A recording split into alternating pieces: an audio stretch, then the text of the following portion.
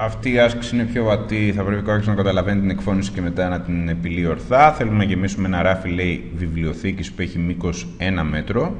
Βάζει και λίγες μετρικές βέβαια μέσα, με βιβλία των οποίων το πάχος είναι 10 εκατοστά ή 5 εκατοστά. Να διατυπώσετε τη γεννήτρια συνάρτηση και να επισημάνετε τον όρο του οποίου ο συντελεστής δίνει τον αριθμό του τρόπου να γεμίσει το ράφι. Αν δεν έχει σημασία η σειρά του τοποθέτηση των βιβλίων, Άρα λοιπόν μιλάμε ότι, να το οραματιστούμε λίγο σχηματικός σε, μιλάμε δηλαδή για ένα ράφι μιας βιβλιοθήκης, προσοχή, όπου θα τοποθετήσω βιβλία, αλλά δεν θα έχει σημασία η σειρά. Ε, φαίνεται παραδοξολογία, αλλά έτσι πάνε αυτά. Ένα μέτρο λοιπόν, 100 εκατοστά, για να κάνουμε και αναγωγή στα νούμερα τα οποία λέει, και τα βιβλία τα οποία θα έχω ή θα έχουν μήκος 10 εκατοστά, η μία κατηγορία, ή θα έχουν μήκος 5 εκατοστά. Εντάξει. Και τώρα, ε, δεν έχει σημασία η σειρά τοποθέτησης του βιβλίου, λοιπόν, ξαναλέω. Άρα λοιπόν μας καθοδηγεί για τοποθέτηση, αλλά παρόλα αυτά χωρίς να έχει σειρά. Άρα πάμε για επιλογή, έτσι. Τα βιβλία κάθε μεγέθους θεωρούνται μη διακεκριμένα. Άρα αντί να λέω 10 εκατοστά και 5 εκατοστά, τώρα μπορώ να τα ανάγω σε Α και Β. Τοποθετώ αντικείμενα Α και Β. Και πρέπει να υπάρχει τουλάχιστον ένα βιβλίο κάθε μεγέθους στο ράφι. Άρα θέλω και τουλάχιστον ένα Α και τουλάχιστον ένα Β. Τώρα, εδώ βέβαια πρέπει να σκεφτούμε το εξής, ότι άλλο πράγμα να βάζω μόνο α για παράδειγμα γιατί έχουν μήκος 10 εκατοστά και άλλο να βάζω μόνο β γιατί έχουν μήκος 5 εκατοστά. Ο συνολικό, ε, το συνολικό μήκος που πρέπει να καλύψω είναι 100 εκατοστά. Άρα λοιπόν αυτό σημαίνει ότι ε, θα πρέπει να κάνω μία συμβολή στο ζητούμενο στόχο. Άρα λοιπόν θα πάω να γράψω καταρχάς ένα πρόβλημα επιλογής, άρα λοιπόν θα χρησιμοποιήσω απλή γεννήτρια συνάρτηση, αυτή είναι η πρώτη παρατήρηση την οποία πρέπει να γράψουμε.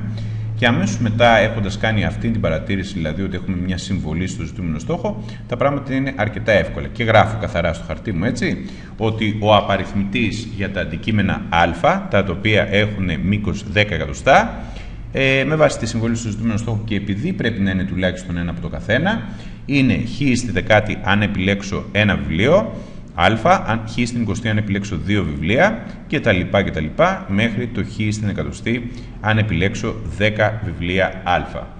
Εντελώ παρόμοια, ας πούμε, ο απαριθμητής για τα β θα είναι χ στην πέμπτη, ε, αν επιλέξω ένα β, συν χ στη δεκάτη αν επιλέξω δύο β, συν και τα λοιπά και τα λοιπά, συν χ στην 100. Έχω κάνει τον ευθύ τρόπο συνήθως, έτσι, δεν κάνω το μίζερο τρόπο.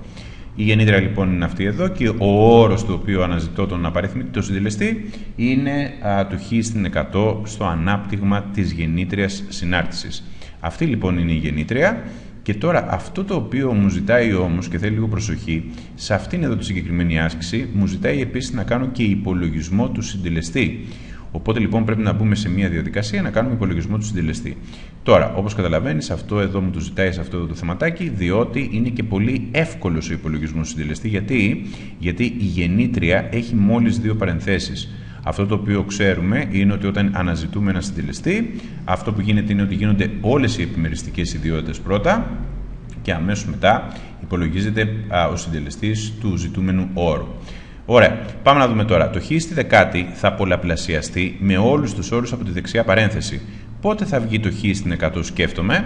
Θα βγει το χ στην 100 όταν θα πολλαπλασιαστεί με το καλό με το χ στην 90. Εντάξει. Αμέσως μετά, το χ στην 20. Πότε θα βγει α, χ στην 100 όταν θα πολλαπλασιαστεί με το χ στην 80 και μόνο με αυτό.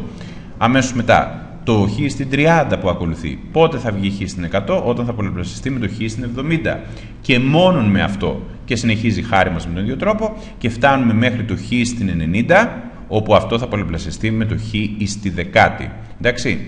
Οπότε λοιπόν θα έγραφα εδώ και στο καθαρό ότι η όρη που προκύπτει, ε, που προκύπτει όχι οι όροι, αστοχία, τα γινόμενα που προκύπτει ο όρος χ στην εκατοστή είναι τα. Και έχω κάνει ένα συλλογισμό και τον έχω βάλει εδώ. Εντάξει, είναι αυτά εδώ. Οπότε λοιπόν τώρα το θέμα είναι πόσα είναι αυτά. Είναι 1, 2, 3, κάνεις τη σχέση και με τον εκθέτη πάνω, έτσι, 9. Άρα ο ζητούμενος συντελεστής είναι ίσως με το 9.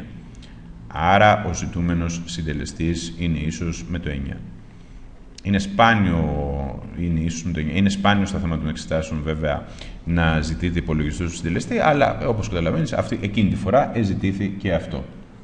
Και άρα λοιπόν υπάρχουν 9 τρόποι επιλογής των βιβλίων με όλους αυτούς τους περιορισμούς.